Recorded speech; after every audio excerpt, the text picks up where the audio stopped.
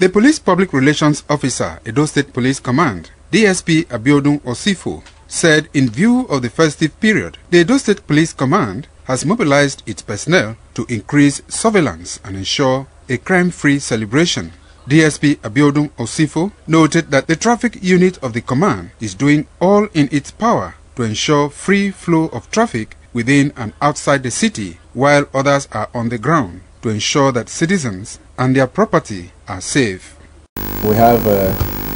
interventional units on ground at the headquarters, the area command, and the divisional level. We've been able to mobilize the men to ensure that the traffic control and management is, is done uh, appropriately so that uh, people can move about, buy their Christmas uh, uh,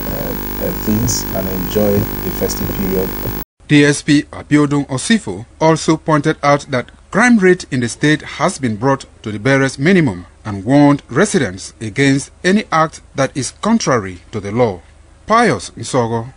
reporting